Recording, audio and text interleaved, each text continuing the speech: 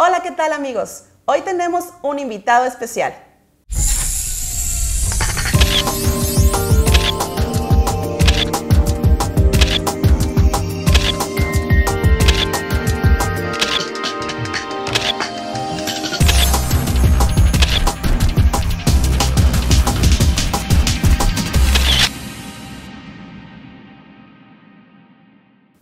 Pues estoy muy contenta y honrada de que nos visite Irán Trillo, fotógrafo de bodas. Bienvenido, Irán. Muchas gracias, muchas gracias por un gusto estar aquí. Para mí también. Irán, cuéntanos, ¿de dónde eres? De, de, Camargo.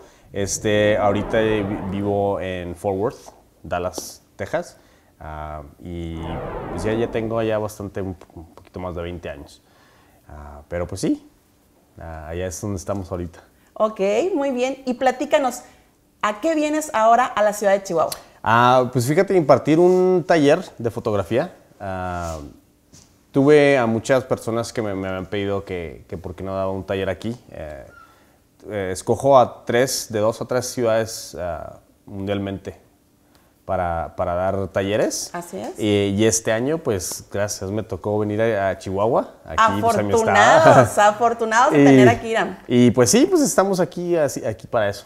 Ok, pues platícanos, Irán. Ahorita eh, está el movimiento de los workshops, pero mucha gente todavía no sabe qué es un workshop. ¿Cómo lo podrías definir tú? Mira, una, un, workshop, un taller fotográfico es, es un lugar donde puedes ir a, a educarte un poquito más. Este, no necesariamente es, es de, de, ir y aprender y copiar o, o, duplicar lo, lo, que se aprende, es como cualquier otra cosa. Más sin embargo, es para poder este, pues ver cosas diferentes, a lo mejor cosas que, que no, no, has, tenido la oportunidad de ver.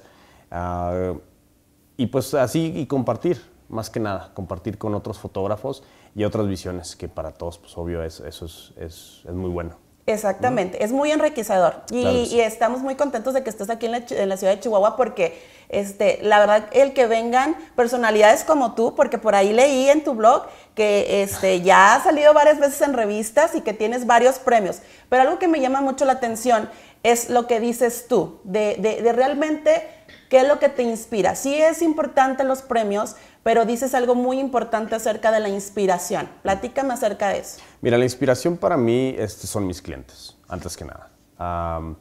gracias a Dios sí, sí han pasado lo de los premios y eso, pero eso, es, eso para mí es una segunda mesa. Es algo que, que en realidad no, no, me enfoco mucho en eso. porque en realidad los que se han ganado los premios para mí, en, o sea, el modo de, de como yo veo las cosas, son mis clientes. Mis clientes son los que me, los que me regalaron esos momentos. Yo tuve la fortuna de estar en ese momento y capturarlos, pero en realidad eh, todo el crédito se lo, se lo doy a ellos. pero ellos para mí son la inspiración, es lo que me, lo, lo, que me sigue inspirando en todos los trabajos que hago.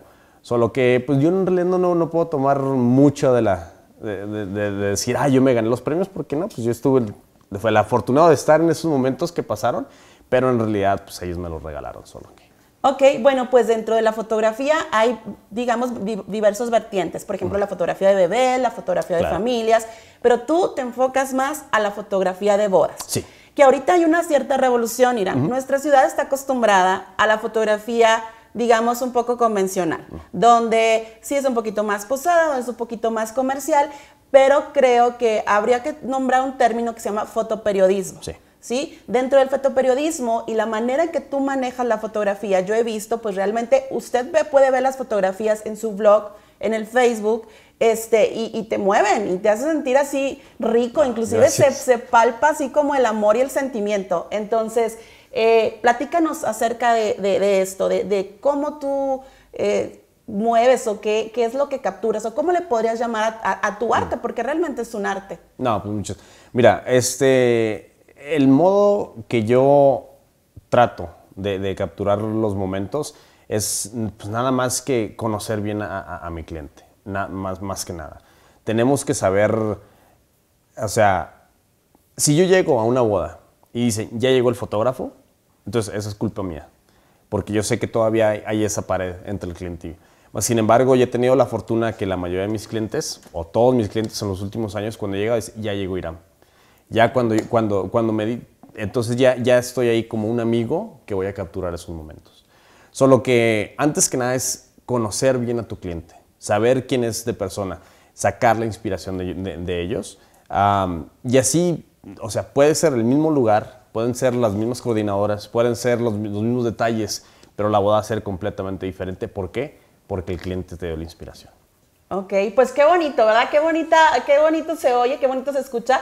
Pero yo la invito, señora este, televidente, amigo que nos está viendo, que se dé una vueltecita. ¿Por dónde? A ver, dime tú, ¿dónde te pueden visitar para que vean el trabajo, sí? Y que me gustaría que le dijeras algo a la comunidad fotográfica chihuahuense, ¿sí? Este, yo cuando veo tus fotos, cuando, cuando supe de, de, de, Irán, del workshop, me interesa. Realmente el ver tus fotografías y ver tu trabajo, pues es algo que a mí me inspira eh, el, el, como conocer más acerca de ti. Entonces, algo que les puedas decir. Bueno, este, mi trabajo eh, y su humilde casa viene siendo uh, en iramtrillo.com. ahí van a poder ver y tener eh, a, mi blog, a, cualquier otra otras cosas. una de las cosas que les puedo decir más es, el día de su boda, enfóquense en lo que en realidad es importante para ustedes. Recuerden que después de la boda, el pastel, la fiesta, la música y todo se, desaparece y lo único que queda al final son esas imágenes. Solo que para muchos eh, es la parte más importante, pero más que nada, o sea, siéntanse y contraten a alguien que ustedes puedan ser ustedes mismos. Pues muchísimas gracias. Es un honor para mí de nuevo tenerte aquí y que hayas accedido a esta entrevista. No, muchas gracias y gracias a ustedes. Hasta la próxima.